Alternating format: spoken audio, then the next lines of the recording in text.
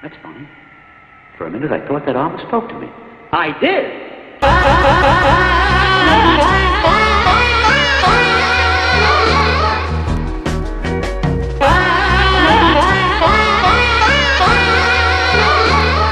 We gotta get busy.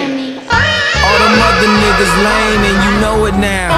When the real nigga hold you down, you supposed to drown.